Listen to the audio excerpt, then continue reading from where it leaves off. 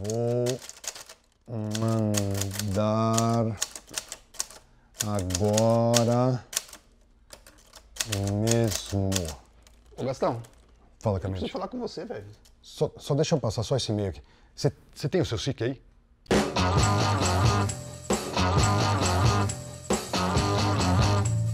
Hoje nós vamos falar da banda americana mais importante da virada do final da década de 1960, Clemente. Caramba! É, uma das bandas mais queridas até hoje, né? É, queridas por você, pela torcida do Corinthians, do. E mais um monte de gente. Creedence Clearwater Revival. Bandaça, cara. Clearwater. Já tomou uma Clearwater? Já não. Uma água limpa. É, é bom. É cachaça? Vai Uma cerveja. Uma cervejinha, é isso. Banda fundamental, misturou country rock com swamp rock, que eles falam, que era o Aham. rock dos pântanos, né? Sim. Eles tinham várias referências. E tem um, um cara ali que é a figura central da banda. É o John Fogerty. É o compositor, líder Aham. da banda mesmo, né? Na rédea curta, né? Aliás, é- é- é, a família dele foi morar em São Francisco durante a Depressão Americana, é isso mesmo? Logo depois da depressão, né? a depressão foi em 29, acabou com a economia americana, muitas famílias saíram lá do interior que não Sim. tinha, não tinha a menor possibilidade de emprego e se mudaram para a Califórnia em busca de uma vida nova. A família dele foi isso. Entendi. Aí o pai abandonou eles. O John Fogerty tinha nove, Nove anos, anos, né, cara. cara? E nove anos e a única coisa que o alentou foi a música, né? Ele pirou em Elvis Presley, né? Imagina, pegou a fase, né? Ele nasceu em 45, ele tinha 11, 11 anos, anos. quando o Elvis estourou. Cara, imagine ver o Elvis na TV. Uau! Um Já garoto. começou a cantar, já Aham. começou a querer ter banda, vai pra escola, né? Vai lá pra. Sim. encontra os amigos dele que ele teria a banda. Que é o legal. Stu Cook, que seria o baixista do. Creedence, e o Doug Clifford, que é o batera do Creedence. Aí- Conheceu aí- no colégio No mesmo. colégio mesmo. Isso. Aí eles montam uma banda The Blues Velvets pra, pra acompanhar o irmão, né? Mais velho, Isso. né? O Tom Fogerty. que era quatro anos mais velho, já cantava. Aham. Eles começam com a banda pra eles mesmos, Sim. mas quando o irmão dele tá Começa cantando nos bares, eles falam, pô, podemos Ah, acompanhar você? acompanha aí, né, meu? Só tinha uma diferença nessa banda. O Stu Cook, que é o baixista, ele começa no piano. Ah, Depois que eles vão mudar. e eles conseguiram um contrato com a Fantasy Records. Exatamente. Eu gosto desse nome, cara. Também, Fantasy Fantasy Records. Records. E na época era comum lançar singles. Sim. Eles começam a lançar singles. Sim. Só tem uma novidade, né? Quando saem um dos singles ali, eles estão com outro nome. Caramba! É, o cara da gravadora não gostava, falou, ah, ó, desculpa aí, eu mudei o nome de vocês, sabe? Daí ficou The Gollywogs. Que legal! Tipo, tipo, nada a ver, né? Nada a ver. É por isso que chama Fantasy Records. Os caras fantasiavam o próprio mundo. Eu sei assim, o Gollywogs, eles odeiam o nome, mas por causa do contrato, eles são obrigados são a fazer um tempo, pelo menos, com esse nome. E vende, né? O, o- esse single até que vai bem, né, cara? Vão bem, cara. Na- na- na- pelo menos ali no mercado local, né? A banda era muito competente, né? Só que eles estão indo bem, estão começando a fazer bastante show. 1966, o John e o Stu, o baixista, Sim. entrou no exército, cara. Nossa, Eles são convocados para fazer o exército. Guerra do Vietnã e são obrigados a fazer isso. Então dá uma suspendida na banda. Uhum. 67, 1967 é o auge do movimento hippie, da psicodelia. Eles são lá de São Francisco, ali foi o berço. E que louco, né? Porque eles não se identificam né, com o movimento hippie, né? Apesar de, de serem de, de- de São Francisco, né? Eles Exatamente. são do pântano, né? cara? Eles caras- mais no pântano, É. exatamente. Eles acham meio bobo, eles acham, sabe, Aham. meio perda de tempo ali, ficar ali, paz e amor, É. entendeu? Mas eles têm uma postura contra a guerra que eles vão mostrar um pouquinho mais pra Ah, sim, frente, com né? letras mais contundentes, né? Exatamente. 68 eles são dispensados do exército, acho que é o dia mais feliz da vida do John Fogerty. Meu também! Ele recebeu ali a carta, Ah, falou, uh, fui uau. dispensado, vamos voltar com a banda. Primeira coisa que eles fazem é mudar de nome. Eles odiavam Gollywogs, Ah, sim, né? agora vão mudar de nome. Eles têm uma lista com 10 nomes, Aham. eles mostram pro cara, pro cara da gravadora. E parece que o cara da gravadora gosta do primeiro nome que eles falam, né? Que é Creedence Clearwater Revival. Que é um nome esquisito, Clemente. É, Porque eles fazem, fazem uma mistura com o nome de, de Cre- Creedence, que é do, do- de um amigo deles. Exatamente. Mas o, o, o Creedence do amigo era com um E só. Eles puseram Creed, né? De, de medo, né? De Creed é a tradução? Eu não sei. É credo mesmo? De- Credo, de, crença? É, crenço, é, crença. Você vai tentar explicar o nome, é difícil, hein, é? Então, Clearwater era de uma cerveja que estava fazendo sucesso na época. E o Revival porque eles eram, já eram uma banda, então eles estavam se revisitando, né? Eles querem mostrar o compromisso, deles com a né? música. Eu sei que em 68. Nome doido. Nome doido, É. nome doido, assim que eu não sei nem porque pegou, mas pegou, né? Na época pegou. Eles lançam o primeiro disco já logo em 68. Quer dizer, eles voltam com a banda em 68, já tem o contrato, já Uhum. tinha a música, lançam o primeiro disco, esse aqui que eu gosto pra caramba. Dois covers se destacam aqui, Olha Clemente. só. O primeiro deles é Suzy Q.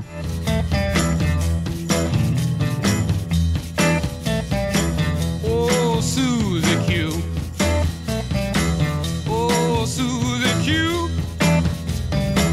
Oh, Q, baby, I love you. Q. Q, que já vai para as cabeças. Sabe o é. que acontece? É a única música do Creedence que vai para a parada de sucesso que não é do John Fogerty. Nossa, Legal, é que é o único cover. Que e aqui louco. também tem I Put a Spell on You. É, e ele já ganha um disco de ouro com esse disco, né? Exatamente, Pô, cara. Estrear com um disco de ouro realmente já indica um- uma trajetória. Que vai ser bem sucedida. É, Por causa do sucesso e da repercussão da Suzy Q, ele já entra em 69, 1969 com moral. caramba. E gravam três discos, cara. Eu nunca vi isso, Clemente. Sério, uma Nem banda eu. gravar três discos de estúdio. Não é que eles botaram ao vivo ali na Sim. parada, não. Três discos de estúdio com composições próprias, né? Na maioria Cara, das vezes. sim. Três álbuns eles lançam. Haja inspiração, né, velho? Nossa, cara. É porque você tá tocando, a gente tá fazendo show ainda, né? E tá Isso. lançando disco. Era uma banda de turnê, né? Aham. Eles não param de fazer show. A- durante a existência do Creedence, eles fazem milhares de shows. E mesmo assim estão compondo, e estão compondo e tocando. tocando. O primeiro deles é o. O primeiro é lançado no começo Aham. do ano. Sim. Que é o Bio Country. Esse aqui. Eu adoro. A, primeira, a música que abre aqui chama Born on the Bio. É uma das músicas que eu mais gosto. O empresário não gostava. Que louco, Ficar né, cara? desestimulando os caras. Ah, essa música não é boa, não vamos botar no disco, não. E acho que desse disco tem um dos maiores hits dele, que é Proud Mary, né, cara? Chegou em segundo lugar na, na parada. Tem mais de 100 covers dessa música. É inacreditável. E o John Fogerty ele escreveu quando ele recebeu a carta. É, é a carta que o mandava embora do exército. A Ele, dispensa "Ah, do dispensa exército." do exército. Ah, Bateu aquela inspiração, aquela alegria e foi lá e compôs um dos maiores sucessos da banda, cara. Que legal, Que é uma música cara. muito boa.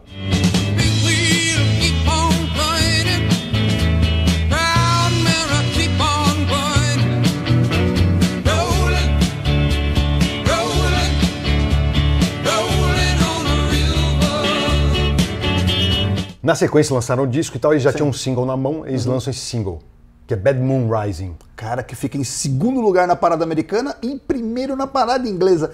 Agora pensa bem, na parada inglesa tinha os Beatles. Pô, é inacreditável que eles chegaram no primeiro, é verdade. É, eles passaram os Beatles na Inglaterra, mas ficaram em segundo nos Estados Unidos, porque quem estava em primeiro? Eram os Beatles. Eram os Beatles. Aliás, geralmente era isso, né? Eles estavam É. em segundo por causa, Por causa dos, dos Beatles, Beatles. cara. Mas era a única banda americana que chegou a rivalizar com os Beatles em 1969. Que louco. Não é pouca coisa, Não, Clemente. cara.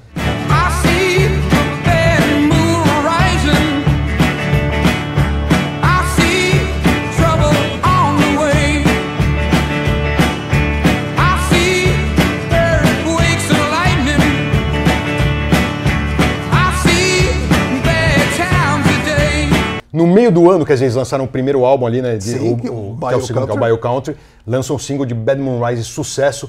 No meio do ano eles já lançam mais um álbum. é Green River. Green River, que é esse aqui que eu adoro. A Cara, capa Green River é outra música, que, né, é outro disco que pega é- muito. Pega muito, né? Exatamente. Aqui tem Bad Moon Rising, que tinha Ah, sido lançada sim. em single um pouquinho antes. E tem a Green River, que vai também para segundo lugar na parada americana. Cara, duas músicas, Proud Mary e Green River, são as músicas, vamos dizer assim, que definem o Creedence. Então, você fala em Creedence, todo mundo canta essas duas músicas. Exatamente, Clemente. Eu acho Foram que essa capa. no mesmo ano, cara. Essa capa aqui também define o que era a banda, né? Sim. Os caras no meio do, do, Do mato. mato. Era um Country rock meio do rock, mato. pode crer. Por isso que todo mundo acha que eles são do interior dos Estados Unidos e não de São Francisco. Muita gente se surpreende, né? Pode Você crer, fala, é né? uma banda californiana. Ah, não é possível, porque os caras eram meio caipira, né? Aham. Terceiro álbum em 1969, Clemente, mais pro final do ano. Lançaram um no começo do ano, um no meio do ano e um mais pro final do ano. Caramba. Que é esse aqui, ó. Willie and the Poor Boys. Esse álbum é sensacional. Aqui tem duas músicas importantíssimas. Uma delas é Down on the Corner e a outra é o maior libelo contra a guerra do Vietnã, que é Fortunate Son.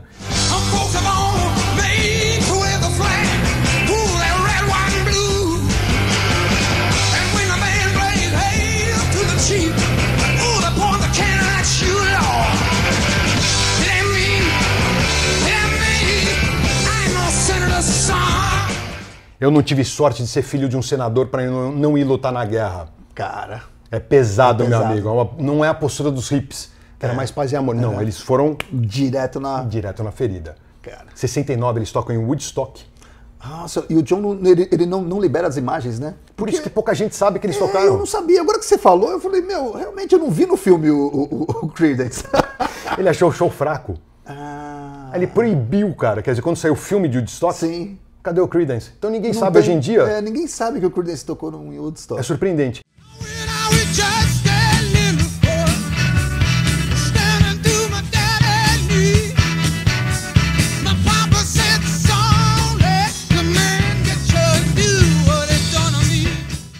Eles tocam também no Atlanta Pop Festival, que é o festival que lançou o Grand Funk Railroad. que a gente já Nossa, contou essa história no Revelero do Grand Funk. E ainda fazem o Ed Sullivan Show. Cara, Que era o programa que de era o programa televisão mais, mais popular importante. dos Estados Unidos naquela época. Eles vão lá e fazem uma apresentação ao vivo muito boa.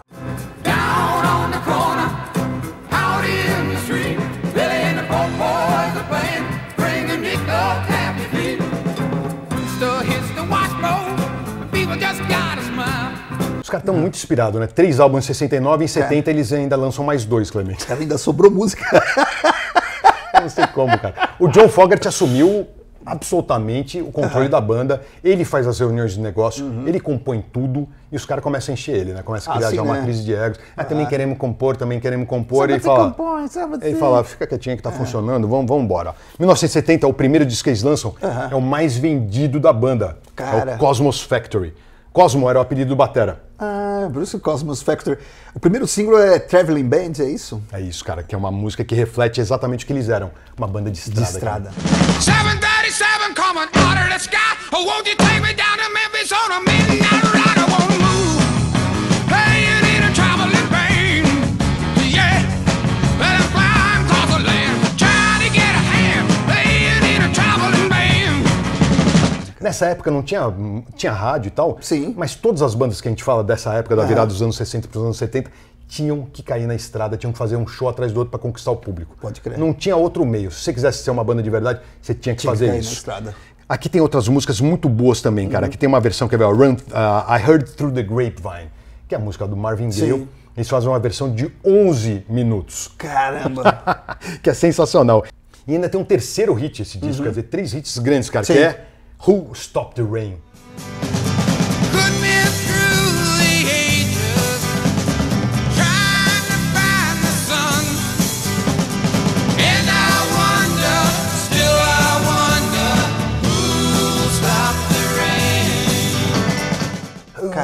Cara, the Rain, que é também outra Cara, música sempre também acho que você canta bem, viu, cara? Você devia montar uma banda. Eu já tentei.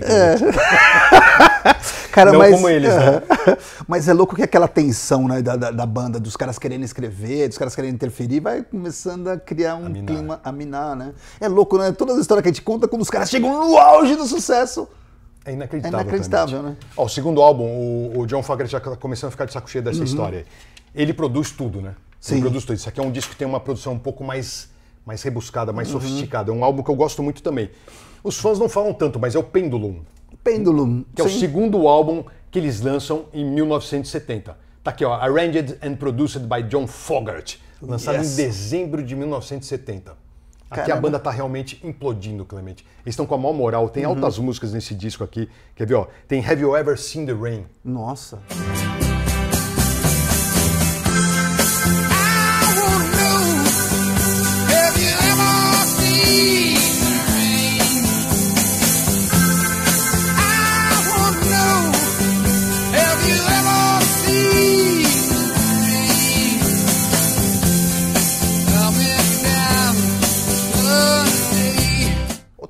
Que arrebenta também, né? Vai pras cabeças, vai para os primeiros lugares da parada. Cara, e aí, e, e aí é, é nessa época que, que o John começa a falar pros caras, meu, vocês querem participar mesmo? então vão compor também, né? Vão compor um terço do disco, né? Já que Exatamente. vocês querem tanto, né? Exatamente, cara. Com isso, o irmão dele se queima. O Hum. irmão dele, pensa bem, era o irmão mais velho, era o, o ídolo dele, Sim. foi o cara que começou a cantar antes, de repente ele virou guitarra base da banda, né? Ah, ele quer lançar um disco só, ele quer lançar o trabalho dele, né? E sai fora da banda brigado, totalmente brigado, Cara. né? Eles continuam ali em trio. Sim. Né? E aí o John Fogerty impõe essa cláusula. Ele fala assim: Uhum. tá bom, agora todo mundo vai compor um terço do disco cada um. Eu não canto a música de vocês, vocês Uhum. vão cantar a própria música, senão eu saio da banda. Nossa! Inverteu a Inverteu situação, cara. Cara. Eles lançam em 72, quer dizer, demora aí. O, Ah. O último disco que eles tinham lançado em 1970, eles tinham lançado seis discos em Sim. menos de três anos. Eles dão uma pausa ali porque o Tom sai, eles estão Aham. ali trabalhando nesse disco e lançam em 72 o álbum chama Mardi Gras. Cara, que tem músicas de todos, né? Tem músicas de todos E não é foi bem considerado- recebido. É, é considerado o pior álbum da banda, né? Que, né? Um crítico da época falou assim: Nossa, é o pior disco lançado por uma banda consagrada que eu já ouvi. Cara, E aí você fica pensando, o John Fogerty deve ter virado pra isso e falou: tá vendo? Eu não falei pra vocês. A banda faz uma turnê desse disco de dois meses e acaba. E acaba. Acaba. Quer É, dizer, porque já não auge tinha mais clima, já. É. tinha acabado totalmente o clima.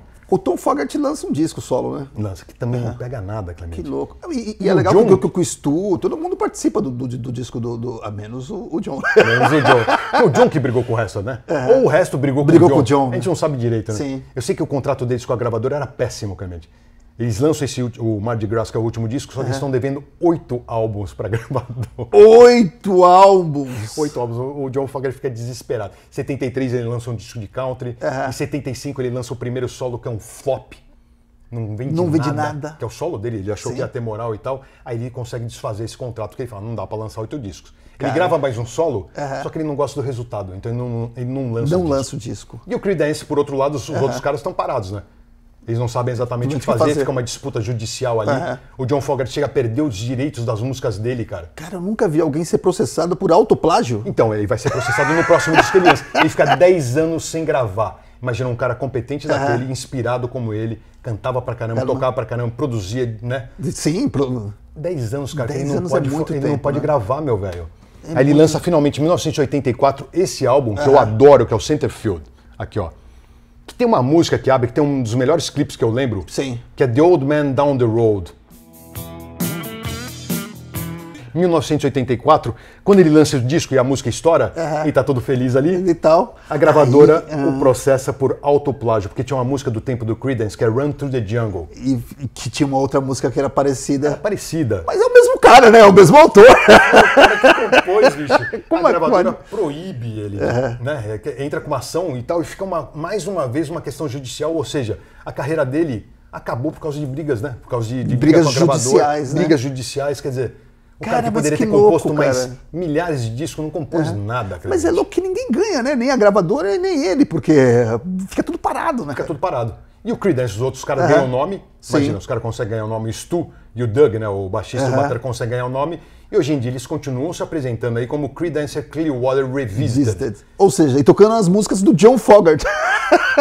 Com dois caras pra substituir ele, cara. Cara, um canta e o outro o- toca o outro guitarra, toca que o guitarra. John tocava. e o John Nossa, Fogerty, quer dizer, o John Fogerty continua também. Ele voltou a se apresentar, né? Sim. Não faz muito tempo. Ele tem feito shows, tocou no Brasil, tá, tá cantando pra caramba. Que Eu acho o legal. trabalho solo dele muito mais legal do que o Creedence Clearwater Revisited. É, porque ele é o cara, né? Ele é o cara. Não e aliás, ele disso. ficou um bom tempo sem cantar nenhuma música do Creedence, né? Só de birra, né, cara? Primeiro ele não podia, depois de birra. É. Né? Primeiro era questão Ah, não posso? depois- Então tá bom, então não quero mais. E vou te falar, não só um dos bons guitarristas, porque ele era um bom guitarrista, Sim. mas um dos melhores vocalistas da história do rock americano, E velho. um dos melhores compositores, né, cara? Pelo Também. amor de Deus. Acho que uma grande frustração para os fãs é que apesar do John Fogerty estar se apresentando hoje em dia, tá Sim. cantando bem, e o Stu e o Doug estarem com, Clear- o Creedence Clearwater Revisited, a gente nunca vai ter a volta da formação original, Clemente. Porque o Tom Fogerty morreu em 1990. Ficou brigado com o irmão até então, eles falam assim que se cruzavam nas festas de família. Beleza, Tom, beleza, tudo bem. Putz. Tá? Acabou a relação deles. Infelizmente não teremos a volta. É uma banda que ficou pra história mesmo, Pode crer. né? Uma banda, aliás, muito querida. Eu percebi isso nos motoclubes, cara. As gangues de Sim. moto gostam muito de Creedence. Todo show que tem, os caras são obrigados a tocar É, Creedence. eu gosto. Sempre que eu saio de moto, cara, meu, só Creedence. É. Eu vi tua Harley, você veio hoje de, de moto, né? Eu deixei, perto do, eu estacionei do lado da, da do Supla, que tava aqui embaixo. Ah, tá. É, eu vi o ronco dela. É, não, isso aí foi meu estômago. A fome. Se inscreva no nosso canal. Faça isso, ajuda a gente, ajuda a gente. Essa luta aqui é em glória, mas nós estamos aí. Não, essa, essa luta tem glória, sim. Agora. É nóis.